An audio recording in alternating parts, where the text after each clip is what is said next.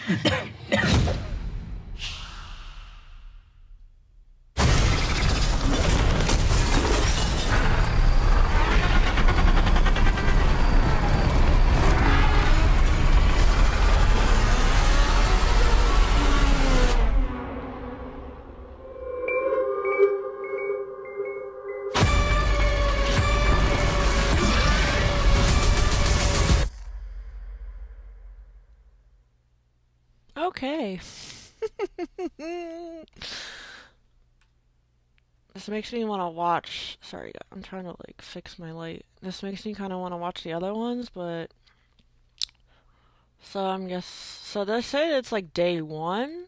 For I knew they were filming another one, but it's like how many can you film? And then of course it's like set in what was it, New York? It's like it makes me not want to go back to New York.